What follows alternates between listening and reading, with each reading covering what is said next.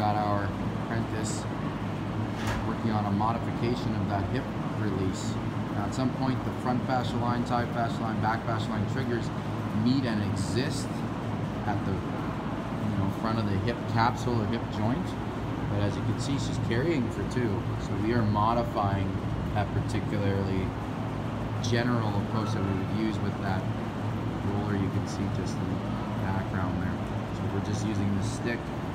Going to drive her weight into the hip region okay, by flexing forward if she can.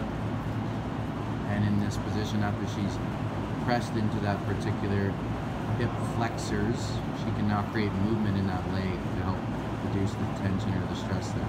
Typically speaking, if you're carrying a lot of back pain, it originates from the tight composer or the tight components of the hip flexors that are pulling your pelvis into that forward excessive anterior rotation and it almost creates kind of like a ticking time bomb or a lot of undue strain into the lower back muscles and the spinal column. So it's super imperative we are getting proper alignment or neutral positioning of said pelvis and hip region or hip skeletal systems and a lot of us don't have that because of our patterns every single day. So this is a great exercise to help reduce some of that tension that's building up wrapping around